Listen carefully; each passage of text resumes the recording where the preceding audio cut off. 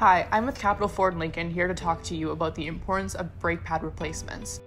When you press on the brake pedal, the brake pads apply friction to a disc that stops the vehicle. This friction causes brake pads to wear down over time. That's why your brake pads go from this to this. The lifespan of brake pads varies, so it's best to consult your owner's manual. However, we noticed it's been a while since you were last serviced, so we're checking in to remind you that getting parts checked keeps the vehicle's driver and passengers safe.